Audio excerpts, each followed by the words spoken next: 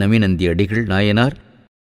ஏமுப்பேரூர் என்ற ஊரில் வாழ்ந்தவர் நமி நந்தியடிகள் இவர் தெய்வ அருளால் வெறும் நீரை நெய்யாக மாற்றி திருவிளக்கு ஏற்றியவர்.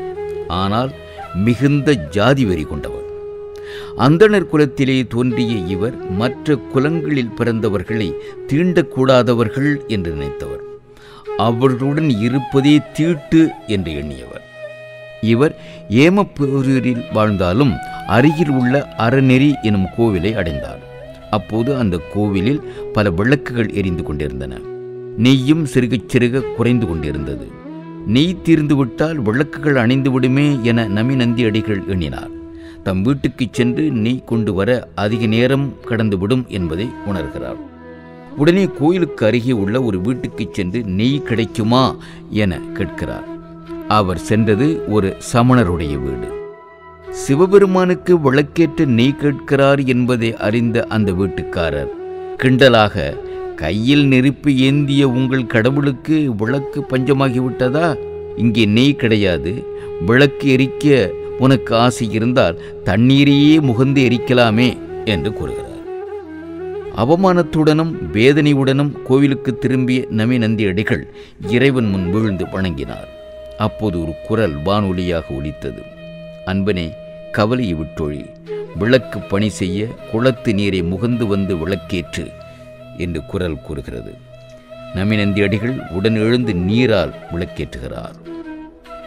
விளக்குகள் ஒளி கொடுக்கின்றன பரம மங்களமாக பிரகாசித்தன. தண்ணீரே நெய்யாக எரிவதைக் கண்ட அடியார்கள் ஹரஹர என்று முழக்கம் செய்தனர். வேடிக்கை பார்க்க கோவிலுக்கு வெளியே நின்ற சமணர்கள் நாணி தலை குனிந்தனர். உடன் அந்த இடம் விட்டு அகன்றனர்.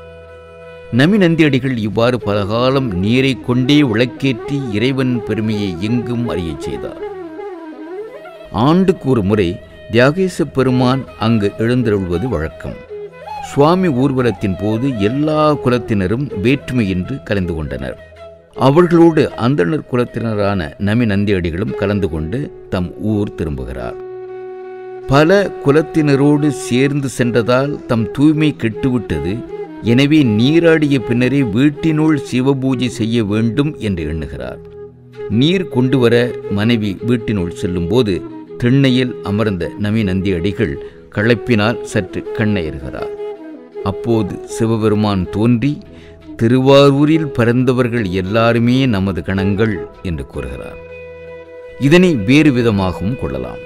திருவாரூரில் மட்டுமல்ல எந்த இடத்திலும் எந்த ஊரிலும் எந்த நகரிலும் எந்த குலத்திலும் எத்தகைய வாழ்க்கைச் சூழ்நிலையிலும் பிறந்தவர்கள் சிவபெருமானை வணங்கி நின்றால் அவர்கள் ஒரே குலத்தைச் சேர்ந்தவர்களாக கணங்களாக இருப்பார்கள் என்பதே இதற்குரிய விளக்கம்.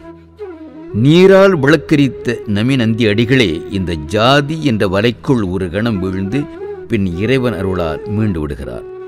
தெளிவு பெற்ற நமி அடிகள் பின்னர் தொடர்ந்து திருத்துண்டுகள் செய்தார்.